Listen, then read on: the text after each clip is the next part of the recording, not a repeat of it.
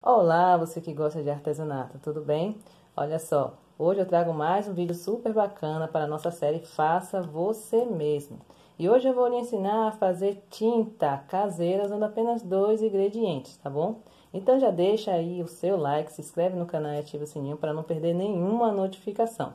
Já tivemos outros vídeos aqui na série Faça Você Mesmo, no qual já ensinei a fazer priming, já ensinei também a fazer molde de silicone, tudo de forma caseira. Então, dando continuidade a essa série, vamos hoje fazer tinta, tá certo?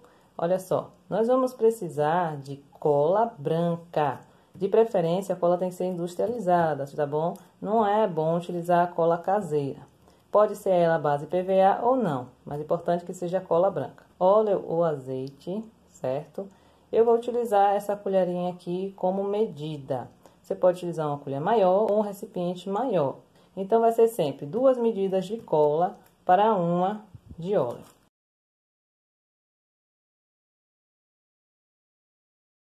Essa mesma mistura aqui você também pode usar como verniz sobre suas peças de artesanato, tá bom?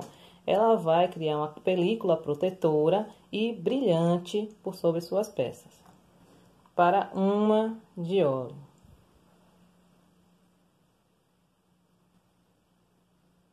Fica saindo aqui por trás, mas eu vou observando que esse copinho aqui. E aí mistura bastante. De início é um pouco difícil assim, para que um ingrediente ele venha ficar uniforme com o outro. Mistura bem. Daí, para que fique perfeito para uso, você vai ter que aguardar pelo menos uma horinha de descanso. Vai proteger né, com papel filme para que não venha secar.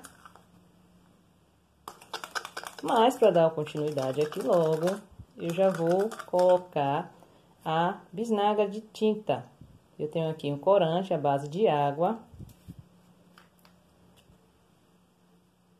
Também mistura bem. Temos uma tinta caseira, usando apenas dois ingredientes.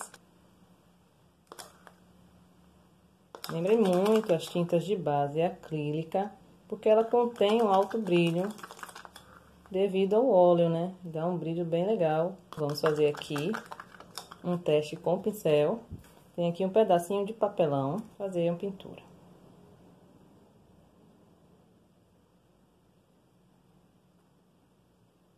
deixar um pouquinho mais escura.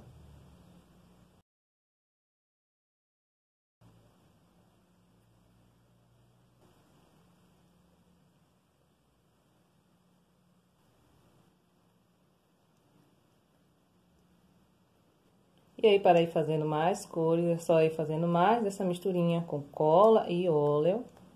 E daí você vai ter suas tintas caseiras Bom, então ficamos por aqui no vídeo de hoje. Mais uma dica do canal. Espero que você tenha gostado. Compartilhe com os amigos para ter conhecimento dessa técnica caseira de fazer tinta. E até o próximo vídeo. Tchau, tchau.